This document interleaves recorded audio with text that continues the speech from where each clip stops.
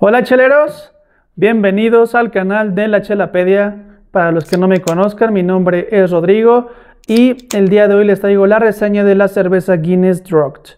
Así que comenzamos.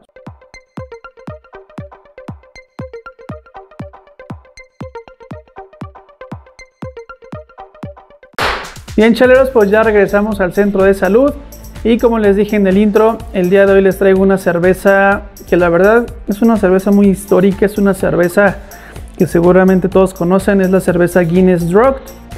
Eh, si quieren conocer un poco más de la historia de Guinness, por aquí les dejo el video que hice hace unos meses de los 10 datos que deben saber de la cerveza Guinness. Entonces, bueno, eh, como ya es costumbre, vamos a platicar un poco del diseño que tiene en esta ocasión la lata.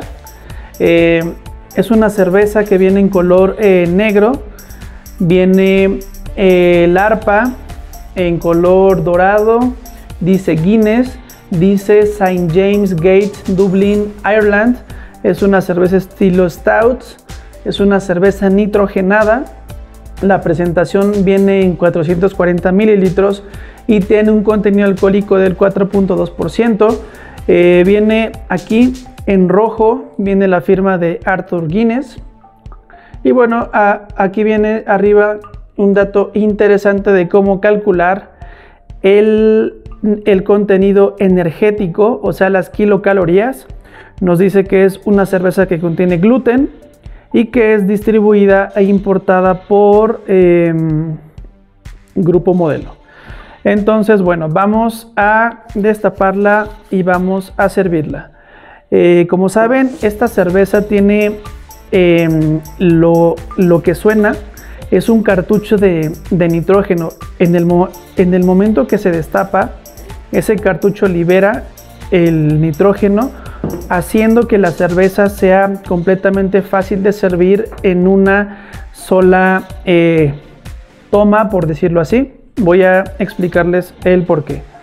Bueno, hay una leyenda que nos dice que le, tenemos que dar tres golpecitos leves a la lata antes de destaparla y la forma de, servirla en la pinta oficial de Guinness es que se puede servir directamente en el centro en una sola exhibición o de una sola vez de, de, golpe, como se dice, y no se va a derramar la cerveza. Entonces vamos a hacer este experimento.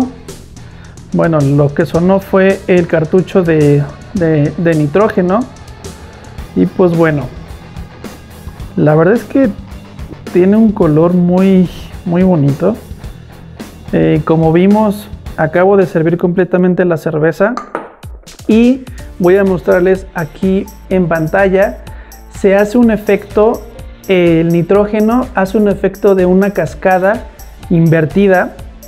Entonces, eh, también se dice que tarda aproximadamente 119 segundos en asentarse por completo la cerveza, se libera la, la corona de espuma. Y pues bueno, vamos a darle un poco de tiempo para que se asiente y ahorita les muestro eh, cómo se ve la, la cerveza esperamos un poquito, que se siente, coquetón. Pero viste rápido, ¿no? Ya. ¿Ya se sentó? Un poquito más. Nada más que subo un poquitito aquí ya. Bueno, chaleros, pues como les dije, eh, ya la cerveza terminó completamente de asentarse. Se los voy a poner por acá para que vean cómo se aprecia. Tiene una corona de espuma muy cremosa, color pues un poco café. Eh, la cerveza completamente oscura, algunos destellos en color rubí en el, en el contorno de esta pinta autorizada de Guinness. Entonces, bueno, eh, esta cerveza la verdad es que la tienen que, que probar si no lo han hecho. Es una cerveza que no se desprecia. El contenido que tiene esta pinta son 500 mililitros, entonces queda muy muy bien. Y pues bueno vamos a ver qué nos ofrece las notas de aroma.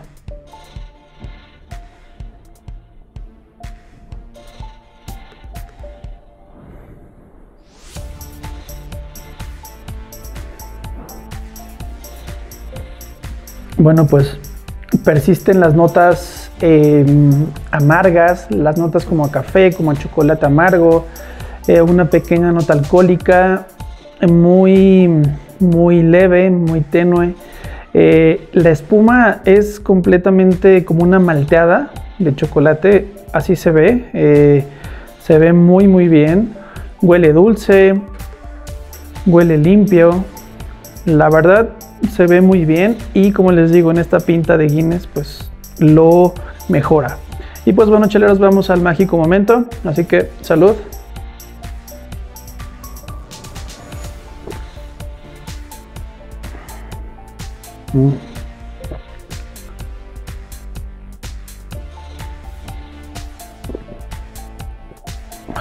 Bueno, desde el primer trago se siente sedosa, aterciopelada, la espuma muy cremosa. Nada más quiero que vean cómo se ve la retención que tiene la espuma. Se ve eh, muy bien, se siente muy cremosa, se siente eh, dulce. Lo, lo, primero que percibo fue la nota dulce conforme va pasando. Ese dulce se calma y aparece una pequeña nota amarga muy tenue, pero se balancea muy bien. Eh, casi no se siente la presencia de carbonatación. Como les digo, es aterciopelada. Es muy muy bien, pero bueno, como les digo, es el efecto que le da este cartucho, que es lo que suena aquí. Es una pequeña bolita de plástico eh, que tiene nitrógeno. En el momento que se destapa, se activa. Fue lo que se alcanzó a escuchar y bueno, eh, se distribuye perfectamente bien en toda la cerveza. Y bien chaleros, hemos llegado al final de este video. Eh, no olviden dejarme en la caja de comentarios qué les parece la cerveza Guinness y también qué cerveza les gustaría que degustáramos en el canal. Y no olviden que la mejor cerveza es la que a ustedes les gusta. Hasta la próxima.